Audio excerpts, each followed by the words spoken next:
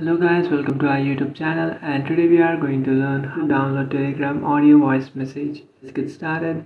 So what you can do is just simply open up your Telegram and after opening up your Telegram now if you try to download someone's audio voice message then you will find a problem that you can't download them on Telegram.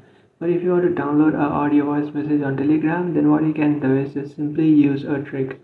So what you can do is just simply open up your browser and in your browser what you can do is search for web.telegram.org slash a slash.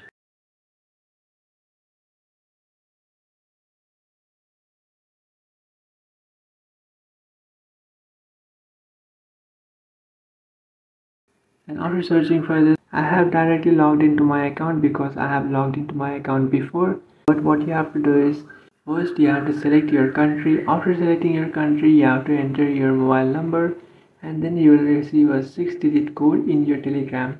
So what you can do is simply copy that 6 digit code from your telegram and then paste it in your browser. So make sure that you will not receive the 6 digit code in your message but in your telegram. So just copy the 6 digit code from your telegram and then paste it in your browser and after doing that you have to enter your account's password and after entering your account's password you will log into your account in your browser. And after logging into your account now to download an audio voice message what you can do is just select a person that you would like to download the audio voice message from.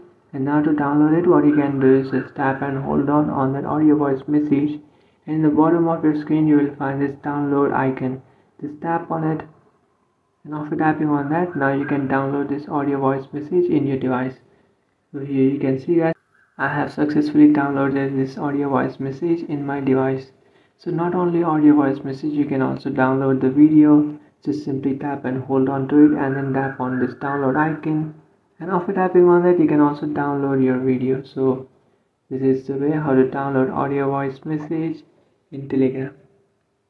So that's it guys, this is how to download Telegram audio voice message. If you find this video helpful, don't forget to like and subscribe to our channel. If you have any doubts, feel free to comment below. Thanks for watching.